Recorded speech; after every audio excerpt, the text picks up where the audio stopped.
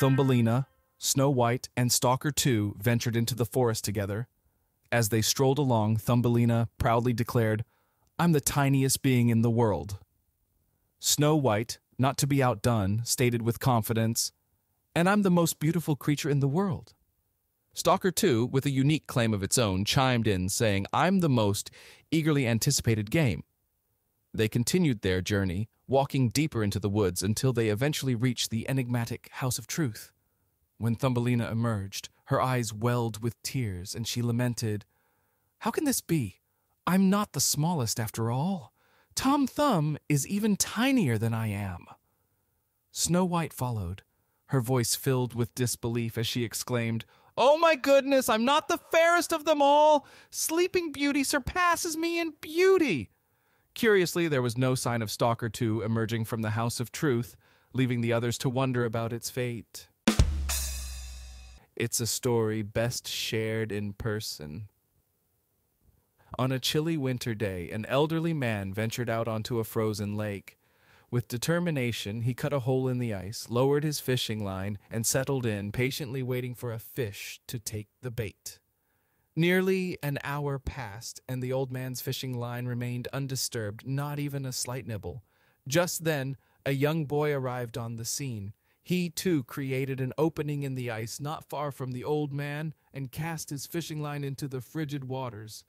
Astonishingly, it took only a minute before wham! A sizable largemouth bass latched onto the boy's hook, and he skillfully reeled in his catch. The old man couldn't help but think it was mere luck. But the boy continued to drop his line, and within a matter of minutes he had pulled in yet another impressive fish. This pattern continued, with the boy consistently outfishing the old man. As time wore on, the older fisherman's patience waned, for he had not caught a single fish throughout the entire ordeal. Finally, he decided he had to seek advice and approach the boy. Son, the old man began, I've been out here for well over an hour without a single nibble. You've only been here for a few minutes and you've already caught about half a dozen fish. How do you do it? The boy attempted to respond, but his words were unintelligible, coming out as roo re pra rooms rarm. Puzzled, the old man asked, I'm sorry, could you please repeat that? I couldn't understand a word you said. Once more, the boy attempted to communicate, roo raff roo reap ra rums rarm. The old man, growing more confused, replied, I'm truly sorry, but I still can't grasp what you're saying. Then, with a playful gesture, pantomiming spitting into your hand, the boy finally made it clear you have to keep the worms warm. The Mother Superior gathers all the nuns in the refectory and addresses them with a stern expression. Sisters, she begins, while we were tending to our garden this morning, we made a rather concerning discovery. Upon hearing this, 99 nuns collectively emit a horrified gasp, their faces reflecting anxiety and anticipation. But there's always one in the group who finds humor in the most unexpected moments, and in this case, one nun can't help herself and lets out a mischievous tee hee. The Mother Superior, undeterred, continues Not only did we find a discarded condom, the room is filled with a renewed sense of shock as the nuns collectively gasp in horror once again, their minds racing to comprehend this unusual discovery. But our cheerful nun is still holding her laughter in, maintaining her tee hee as a secret amusement. The Mother Superior adds the final blow, saying, It had been used! The nun's previous gasp of horror now deepens, and they seem even more taken aback by this revelation. However, our merry nun, seemingly unable to control her amusement, lets out another tee The Mother Superior, now delivering the ultimate surprise, concludes, and furthermore, it had a split in it. At this point, the 99 nuns who initially gasped in horror have their priorities shifted, and they join in the laughter, unable to contain themselves as they finally understand the playful spirit of their fellow nun. Meanwhile, our one mischievous nun, realizing her mistake, is left with a horrified gasp of her own, caught in her own act of amusement. John and Mary decided to start a garden together.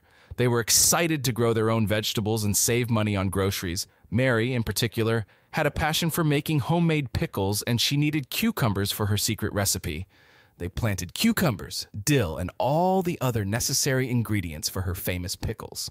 As they tended to their garden, they were filled with anticipation, dreaming of the delicious pickles that would soon grace their pantry shelves. However, their cucumbers didn't seem to be flourishing as expected. They were small, oddly shaped, and not nearly enough to meet Mary's pickle making needs. John watched as his wife became increasingly frustrated with their struggling cucumber plants. One evening, John walked into the kitchen and found Mary sitting at the table, staring at a plate of underwhelming cucumbers. She sighed and said, John, I was really hoping we could save some money by growing our own cucumbers, but this crop is just not up to par. John looked at her with a reassuring smile and said, Well, dear, maybe the cucumbers just need some encouragement. They say a watched pot never boils. Perhaps we're just putting too much pressure on them to become great cucumbers. Mary raised an eyebrow, considering his words. You might be right, John. Maybe we're just being too hard on our cucumbers. Let's give them some space and see how they turn out. With that decision, they stopped obsessing over the cucumbers and allowed nature to take its course. They continued to care for the garden, but didn't scrutinize their cucumber plants as closely. As the weeks passed, the cucumbers began to grow and flourish. They were soon the perfect size and shape for Mary's pickle recipe. Mary was overjoyed, and she made a batch of the most incredible pickles. As they enjoyed their delicious homemade pickles, John couldn't resist a little pun. Well, Mary, he said with a chuckle, it seems our cucumbers were just going through an updill battle. They needed some space to grow, and now they're thriving. Mary laughed and agreed. You're absolutely right, John. Sometimes you just have to let things be and give them a chance to shine. Our cucumbers have certainly taught us that. And so, John and Mary continued to tend to their garden, understanding that sometimes a little patience and a bit of humor can make all the difference when it comes to growing cucumbers and making pickles. Tom had recently started dating a wonderful woman named Sarah. They had a fantastic connection, shared many interests, and were both head over heels for each other. However, Tom couldn't help but feel a bit awkward about one particular aspect of their relationship. You see, Sarah had the same first name as Tom's sister, Sarah. While he was delighted to be with his new girlfriend, every time they were intimate, he found it challenging to shake the thought that he was with someone who shared his sister's name. This had become a constant distraction during their intimate moments. Tom decided to confide in his best friend, Mark, about his dilemma. Mark listened attentively as Tom explained his predicament. After hearing the whole story, Mark burst into laughter. You're worried about that? Come on, man, it's just a name, Mark exclaimed. You've got a fantastic girl who's into you, and you're letting something as trivial as a name get in the way? Tom nodded, but couldn't help feeling a little embarrassed. I know it's silly, but it's always at the back of my mind. I just wish I could focus on being with her without this distraction. Mark leaned in and said, I've got a solution for you, Tom. Why don't you come up with a special nickname just for her? Something unique that'll help you separate your girlfriend from your sister in your mind. Tom's eyes lit up with enthusiasm at the suggestion. That's a great idea, Mark. I'm going to think of the perfect nickname for her. Over the next few days, Tom pondered different names and endearing nicknames that could work. Finally, he settled on calling his girlfriend Sunshine. It was a name that felt right for her, and it had nothing to do with his sister. Tom was eager to try out the new nickname, and when he saw Sarah, he greeted her with a warm smile and said, Hey there, Sunshine. Sarah beamed and said, I love that nickname, Tom. From that day forward, Sunshine became their special term of endearment. It worked like magic for Tom, allowing him to fully enjoy his relationship without any awkward thoughts about shared names.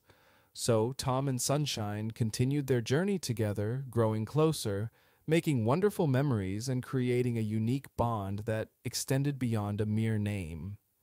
Tom had learned that sometimes a little creativity and a dash of humor can solve the most unusual dilemmas in a relationship.